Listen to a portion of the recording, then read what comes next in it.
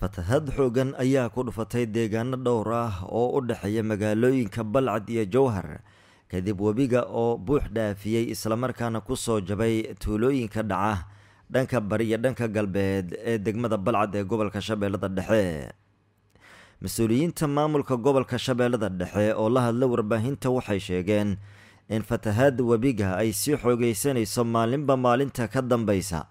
islamarkaana tuulooyin hor leh ay iminka gaareen biyaha. Goobaha sida weyn ay dadka uga barakacayaan ayaa waxaa ka mid ah deegaanada dhanka waqooyi ka xiga degmada balcad ee gobolka shabeellada dhexe oo ay ka mid yihiin tuulooyinka lagu kala magacaabo isgoys galoley shanlow iyo goobo kale oo dhanka galbeed ka xiga degmada balcad ee gobolka shabeellada dhexe hay'adda maareynta masiibooyinka qaranka ee dowladda federaalk ee soomaaliya mar ay ka hadashay fatahaaddu waxay sheegtay tiro ka badan toban kun oo qoysas inay ka barakaceen toddobaadkan tuulooyinka ay biyaha ku fataheen ee u dhow degmooyinka balcad iyo sidoo kale dhanka magaalada jowhar. Gudoomiyaha guud ee hay'addaasi oo la hadla warbaahinta ayaa ku dhawaaqaya tirada qoysaska ee iminka barakacay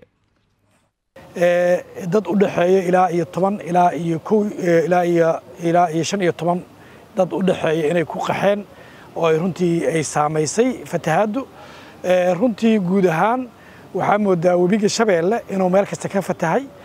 ilaa iyo ka soo bilow feerfeer ilaa iyo meeshuu ku dhammaado degmada owdheegle iyo afgooye ayaa iyadana qeyle ka soo yeerayso oo aan rabna iyadana laftirkeeda degmada owdheegle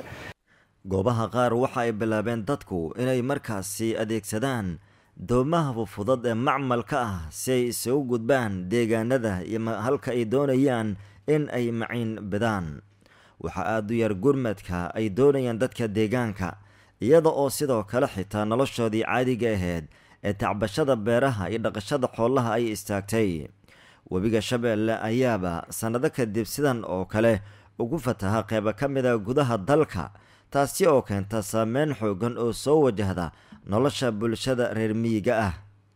Tani waxay sidoo kale ku soo beegmaysaa iyadoo wax soo saarkii gobollada dhaca dhanka koonfurta soomaaliya ee webiga shabeelle uu maro uu aada u liitay muddooyinkii ugu dambeeyey. Goobaha uu haatan ku fataha webiga ee dhanka shabeellada dhexana ma aanu jirin wax tacab ah oo xilligan ka socday oo dadku waxay la daaladhacayeen daruufo kale oo tacabyaradu ka soo wajahday